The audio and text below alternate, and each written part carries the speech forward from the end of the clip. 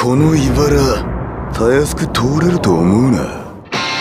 チェステツさ俺は生まれついての落ちこぼれなんだよ。進みてえならてめえが変わるしかね切っていいですよ。それ。えあいにく俺のフォルダの区分はバラガキしかねえんだ近づき触れればトゲが刺さるような手のつけられない暴れん坊俺の田舎じゃそんなどうしようもない悪タレをバラガキって言うんだこの手紙を届けてみせます。邪魔な弟と俺たちを消して万々歳ってか。この悪党が。